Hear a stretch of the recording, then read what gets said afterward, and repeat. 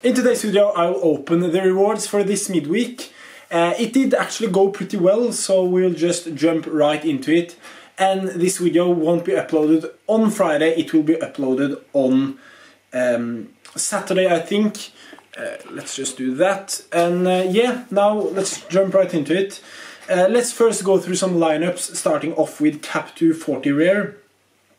And as we can see here, very very unfortunate that um, Romain Saïss didn't play DNP. I don't know what is happening to him. Uh, I need to do some research on that for sure.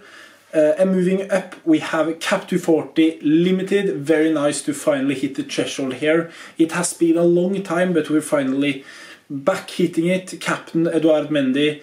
Um, yeah, seems like a good choice. Uh, and moving up, we have All-Star Rare. Unfortunately, Diallo got injured right after the deadline. Koulibaly also not, uh, yeah, he hasn't been doing well uh, lately, unfortunately. And uh, yeah, the rest of the boys did decent. Cap, Cap 220 Limited, I mean. The amazing run continues. Very unfortunate that Silvio Romero didn't do. Yeah, he had a big chance missed, added after the game was finished. That's unfortunate. Mm, but yeah, he let the team down big time, but still uh, he had the L15 of 25, so uh, yeah, uh, decent performance here. And to the main team, 11th place, very very happy with this reward considering that Castelletto were the first player playing, and I have had no expectations of this team doing anything after that game. Um, because uh, Cameroon conceded two goals and um, yeah, but the rest of the team did very well with uh, high 60s and low 70s around the place. Uh, and I'm very excited uh, to see which type of reward this could be. Only 4.8 8 points away from a tier 2. This should be a very, very high tier 3. But we won't talk too much here. We will just jump right into it. And yeah, high tier 3. But first, let's open the soul coins. Um, how much will it be this week? 600, that's decent. Cap 240 limited, we love hitting the threshold. 4.6, perfect. Now, cap 270, rare. 11th place, 366 points, and a very high tier 3. Let's go. Please, something good. Oof. Forward. Uh, oh. Plea. I have actually heard about this guy before.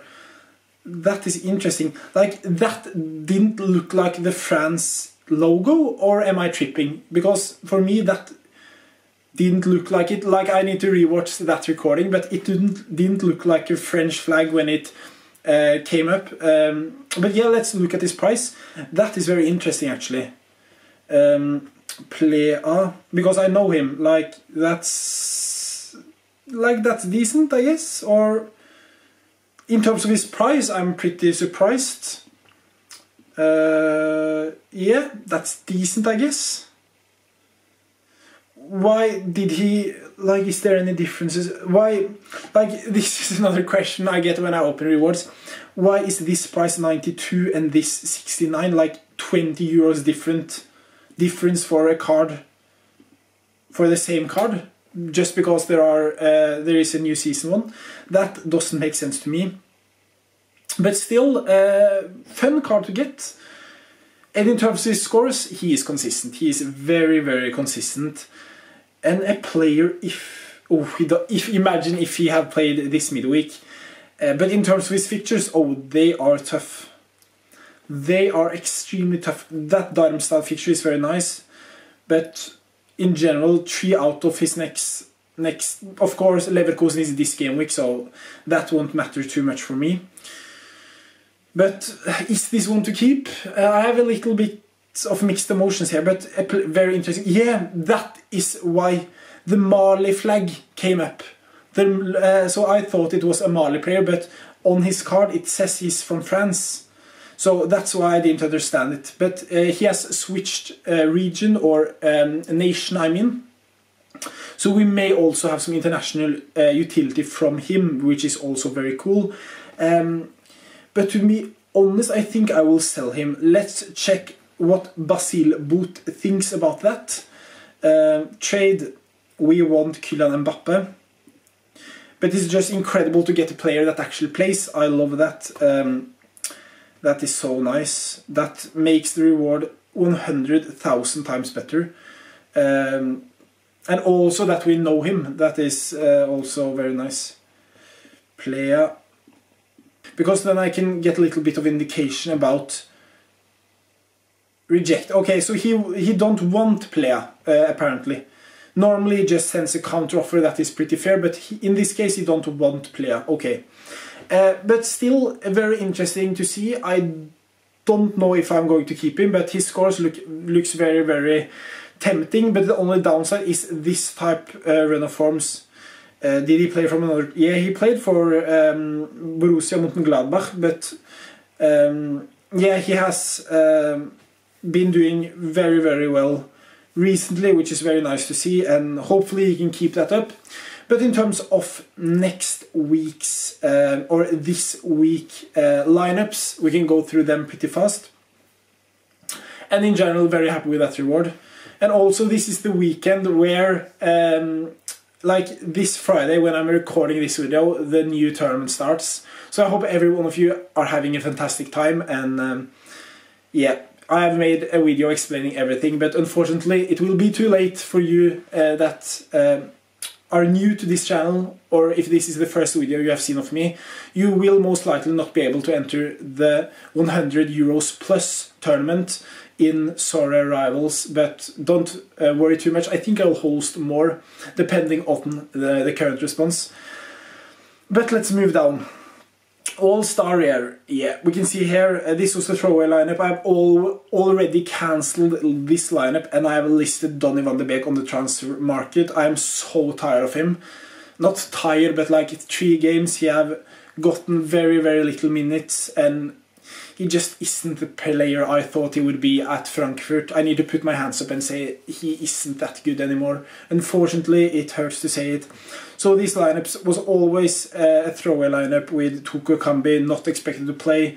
Elneny benched last game. Christiansen against AC Milan away. Like uh, so that is why I've cancelled that. I don't have too many teams this uh, weekend, but we have one strong, strong team. For this team to do well, we need Edouard Mendy clean sheet and a Koulibaly smashing performance. He haven't been doing well so far in terms of SO5 scores this AFCON. Onyeka needs to do well uh, against Cameroon. Jadon Sancho needs to start. I think he will do pretty well if he starts against Bochum, which is not the best side in the Bundesliga. So I think Dortmund should uh, be able to uh, do something here. Uh, and also, we had doubled up in the forward position with Sadio Mane, which is very, very interesting. Um, and also, it fits perfectly in the cap to 70 rare, which we love to see.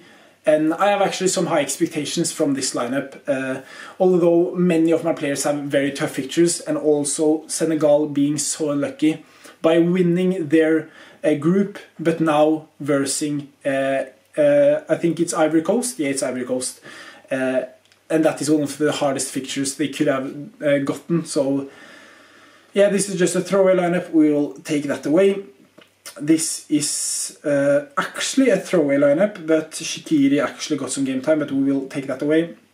Cap to 40 rare, a team that I don't expect hit to, to hit the threshold at all, to be honest. Um, Pape Matar and Diatta may do something. Uh, it's a tough fixture, so that could be good for Pape Matar uh, Castelletto is currently sick, I think, so I'm not, and that of course I got that information after the deadline, so he may not even play at all, so it could be, it could even get harder for me. Uh, Hadri Gunai with a decent fixture and Daniel Iversen away against Sunderland. A pretty interesting Cap 240 linked team though, uh, with Bulat, Sek, Savic, Suso and Silvio Romero. This team I could potentially see hit the threshold. Um, and yeah, some risks here and there. The new signing Abdullah Sek.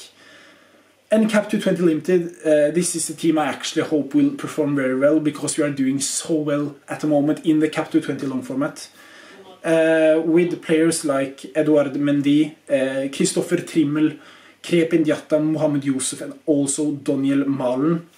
um, yeah, in general, just very strong team in my opinion, especially for a cap 220 limited competition. Um, one thing to keep in mind with this is that I need to beat the score of.